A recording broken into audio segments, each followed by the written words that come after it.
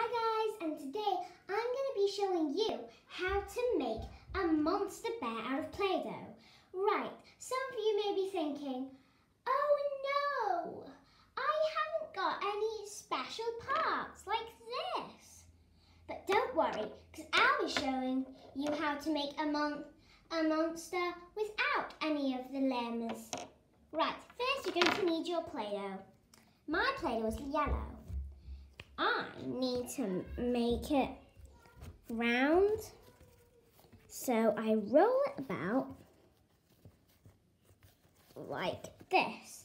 Do this in your hand. Sorry I can't show you, but you should end up with something like this.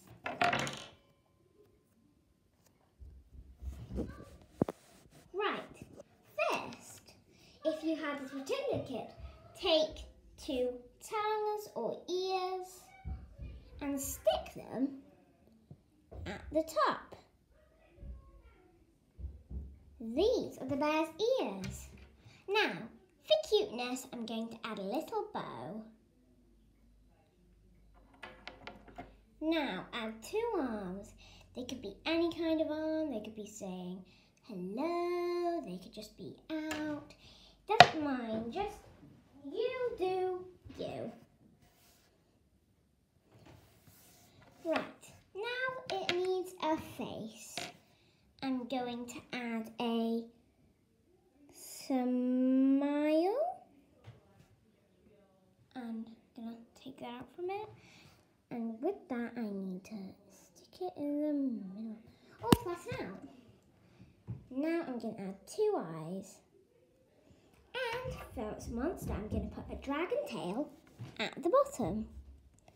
If you have these parts, if you want to make a monster bear, this is how it should have turned out.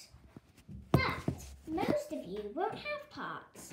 So, this is how you do it. Take your thing and roll it into a bowl like I showed you. Then take your finger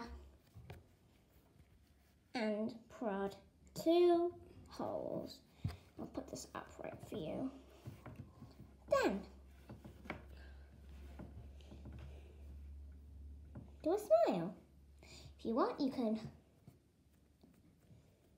make some ears.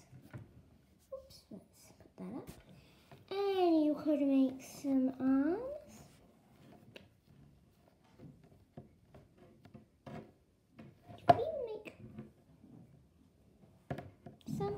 hair.